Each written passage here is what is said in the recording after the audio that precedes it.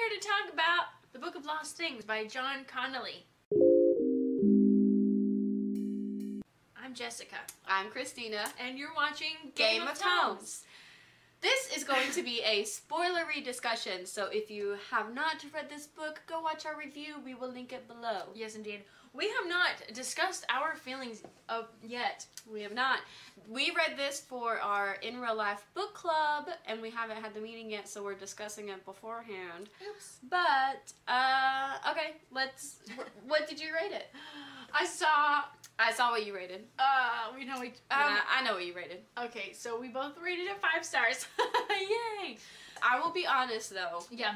it was like a four star book Mm. Till that ending. Oh, the ending was great. The ending sealed it. yeah. I was like, I love this book. Yeah. I love it so it much. It did get very emotional and wonderful. At the yeah, end. it did. I it mean, really, it really me did. super happy. Yeah. Okay, so the crooked man Mm-hmm. was Rumpelstiltskin, right? Like in the classic, Like yeah, like a twisted tale. version, I would Right. say. because we had the Red Riding Hood story. Mm-hmm. We had uh, Snow White, and there was someone else. Who's the Huntress? I never heard any fairy tale connected with that, The Huntress, where Oh. she killed them and. put them Mm, back together. no. This is boogers, not for children. No, it is not. Okay, I was very surprised at how dark this book was. I was like, dark. whoa. Especially that scene. And Yeah, I thought she was supposed to be like um a twisted version of like the witch from the Hansel and Gretel story. But They kind of had.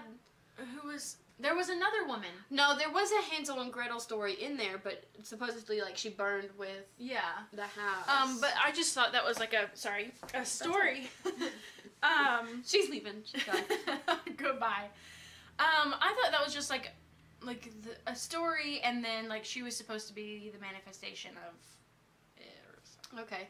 I was gonna. I wanted to ask you because I feel like you're more versed in fairy tales than I am. Oh And so I wanted to know if uh, the Huntress was yeah, no, per I, se based off like a specific. Because I mean, like the Snow White and Red Riding Hood was very obvious, yeah, and the Huntress, I was like, is this you know like a fairy tale? yeah, no. That's that's the only thing I could think. Um, I don't I don't know of any um hun- actual huntress. Well, and then we had the Sleeping Beauty, right, in the tower, Yeah. and uh, unfortunately, I you know, and I really appreciate that they put in that John Connolly did put in kind of like the gay romance with Oh, yeah, the yeah. knight and his lover Mm-hmm. And, uh, Ferdinand. no. Ferdinand. What was his name? for not Ferdinand. Fla not Fabio. I Uh, wanted to say like Steve or something, so I'm way off. I'm like, wow, you can. What was the? Oh, are you talking about the knight's name or the lover's name? The lover's name. oh, right, his name was like I liked him so much. Roland. Roland. Roland and Rodriguez. I don't think so. anyway, I don't know what. We I don't remember. We, we could look, we could we, look it up. we don't online. have it. Uh, it's alright. So, I I really did appreciate that. I you did know, too. you do that in there. Also, um, I really liked the story about the woman who was in the looking glass and she was um, like Oh. like half animal. And um, that story, I've seen other versions of that story in other fairy tales. Um, there's the um, have you seen the Brothers Grimm? No. It's a great movie and it has Matt Damon in it and Heath Ledger. Yeah. Oh. Yeah. And My heart just melted a little. and uh, you need to watch that movie, but um, I would love to. That story was in that movie. Oh, okay. hmm I was really sad when, of course, she was rejected because of her looks. When he was like, "I love you so much," and Yeah. And really all he did was hesitate. yeah. Well, I mean, like that would that would catch anybody off guard. Of course, and I feel like there could have been like an adjustment period where he was like, "Okay, so you have a half animal face. Well, get over this." I mean, it's just her face. and your teeth. Her body's still a woman's body. Okay, I read the synopsis on Goodreads, uh-huh. and then I ended up buying the book because I could, I kept tuning out the narrator on Oh, the yeah, audio. yeah. Mhm. He was a great narrator. He was good. But his voice is just one that's very soothing and just kind of like. Yeah.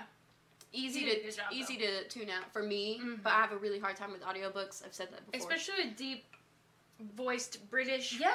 Yes. yes. men. Yes. Yeah. It's so hard for me to like pay attention because I'll just start thinking about other stuff and I'm like, what just happened? Yeah. So- I did not read the synopsis on the book when I bought it because I'd already read the synopsis on Goodreads.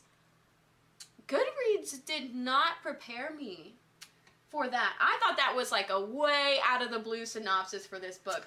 But the synopsis on the back was more fitting mm. because it had mentioned about like dark and twisted fairy tales okay. on the back of the book, but on Goodreads, there's no mention of that. And so when like reading. the very first story that came up with Red Riding Hood laying Yeah. with the wolves, I was like, Okay. what? What? I was so lost. I was like, is this happening right now? It was so confusing. I love that story. Though. I thought it was beautiful, Yeah, but it was I cool. just did not expect it to go like that No. twisted. Yeah. And I was like, all right, I'm ready. Let's do this. it was Yeah, one thing I wished that there was was a positive female woman. I feel like um I feel like that was done on purpose because he he lost his mom Right. and because he has a stepmom that he's unsure about. And so um, this world sort of manifests dreams and stories, and so therefore he's like working through some things, and so when he gets out, he's like, appreciative. "You're not so bad." Yeah. but um but still i wanted there to be like another woman there to like yeah. show Lead him like show him Yeah. the way like he had roland and the hunt not huntsman the Woodsman. woodsman. I love the woodsman I really was so thought happy he when he was came dead. back. I really thought he was dead. i wasn't so sure i was uh, um i wasn't so sure i had to go back and listen to that twice because i was like did we see a dead body no yeah. and so when you don't see a dead body I I didn't think so at first, but then it kept going on with no mention of him, and I was like, yeah, he's dead. Mm. And then we come back up. I was like,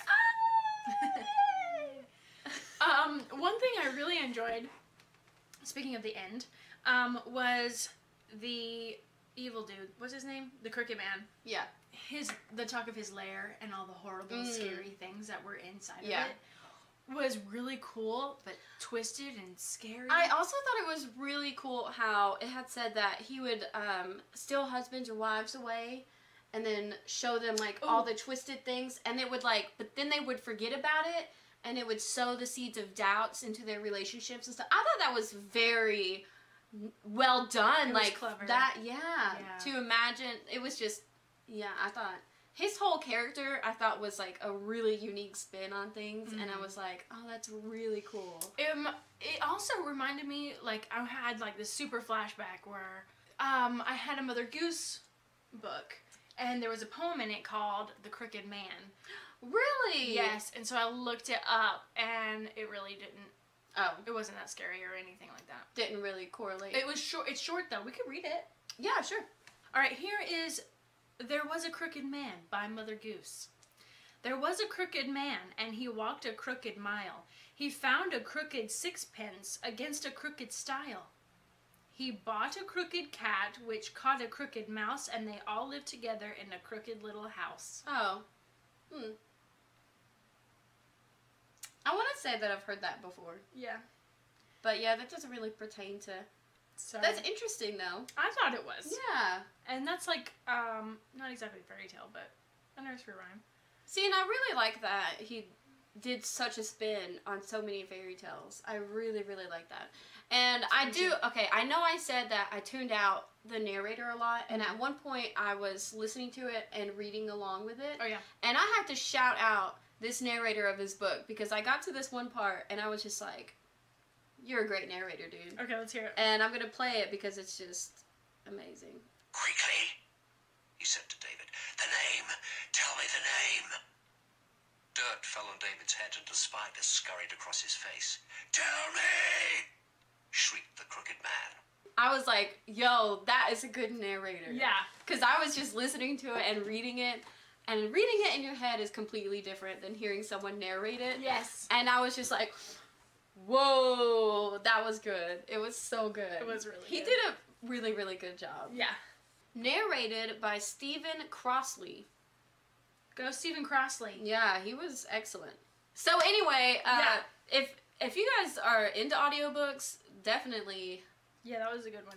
I too did not know what to expect, and so that whole first part where his mom dies and everything, I was like, oh gosh, this book is gonna be It was so depressing. sad and kind of dull, and I was just like, but then we get into it, and it's like, whoa. Yeah. I really like the Seven Dwarves too, and I oh, laughed Yeah. so hard that whole chapter was my favorite because they were talking about trying to kill her. And because, you know, everyone knows the story of Snow White, and you're like, why are you trying to kill Snow White? Yeah. And then you're like, oh. And they're like, if you know anyone who wants a wife, send them our way. And just like, with low standards, we'll pay him. We'll pay him. we'll pay him so much money. It was, uh, I, I just really liked the unique spin on the fairy tales in this book, and it was really entertaining. And I really appreciate that you got to see uh, David go from relying on like the woodsman and Roland, and then he finally like told himself, I have to do this myself, you know, I don't have anyone else now. And I think that really helped his like character and his journey with Yeah. Rose and things like that. And it was super, super sweet because who hasn't been a child and been jealous or angry over something, whether it's maybe it's not, you know, a stepmom and another child or anything, but I thought it was just really beautiful. Yeah. And that ending, you guys, oh my gosh. was I was like smiling the whole time. Aw. And I was so sad, like when his wife died, Mm. and it was just like, and then he went back, and the woodsman was like, "Hey," and I was just like, "Ah." Yeah. He's like, they always come back, and I'm just like, oh my gosh, like it's giving me chills talking about it because it was just like It so was really, sweet. really. I I loved it so much. And um, I feel like that whole you were talking about being jealous over a, a sibling, like a step sibling. Yeah. And I thought that so, whole storyline, that whole storyline was very lab the labyrinth.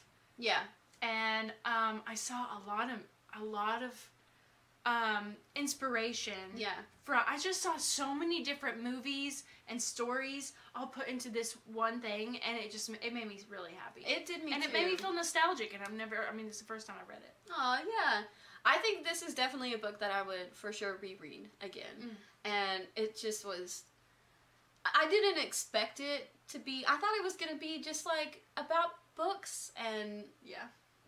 I, I don't know, but it just turned into something that was really different. And then the idea of like overcoming what you're afraid of, like the king Yes. and the Loups, and him realizing that he's kind of manifested all these things into this world, and he still overcomes it. And it was just, it was a beautiful story, Yeah. and it was really fun. It was a really good adventure. It Like, was. It was really, really good. Yeah. I'd said that a lot. It was really good. it was really good. Okay. I think we're done. We're done? Yeah, I think we're done. Uh, obviously, let us know if you want to discuss it. We would love to. Yes, absolutely. Thank you so much for watching when you play the game of Tomes. You read or you die. Come be our friends. Our social media links will be in the description below. And we hope you're reading a great book. Bye. Bye.